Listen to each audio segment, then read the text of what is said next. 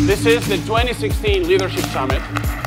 For those of you who keep track, we were here two years ago. And uh, two years ago it was great. We had a big screen. This year we wanted to go bigger, so we have two big screens. And we have a bunch of cool stuff planned. And we're here because you have made this possible. It's your effort, your success that has created the collective success that has brought us back to grow. This is a time to renew friendships and to make new friends. People at Booz Allen are incredible. We're putting people back at the center. And the people in this room are incredible.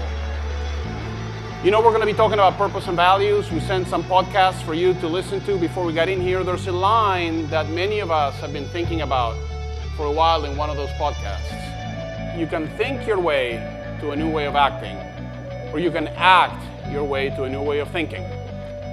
And we've taken the view that it's the latter that will define us. When you start acting in a different way, when you start going big, when you start leading from your moral center, when you start being different and leading differently, everything changes, and 23,000 people can feel that change.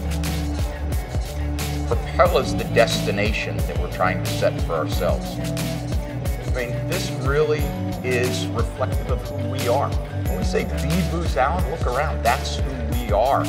This whole thing started with us asking our people in over 15 workshops with a couple hundred of our colleagues, imagine what Booz Allen can be when we reach that destination.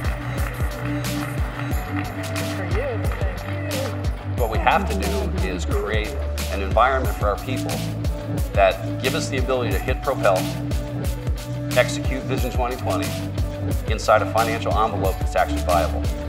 You can't get away from the fact that all the talk has got to culminate in a financial performance profile that allows us to do what we want to do. Horacio had been talking to investors and basically had planted the seeds that Uh, from here into the foreseeable future, we will be on an accelerating growth trajectory.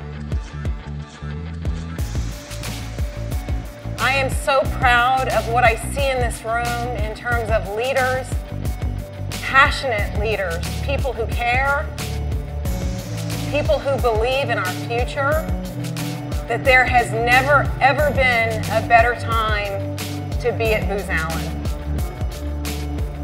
Today is a commitment to living loud again. Today is a commitment to rediscovering what it is to be Booz Allen. Today is a commitment to what matters most. So, beginning today and going forward, let's recommit to leading with purpose and values. And to do that, let's make sure that we know Booz Allen, that we love Booz Allen, and above all, that we can be Booz Allen.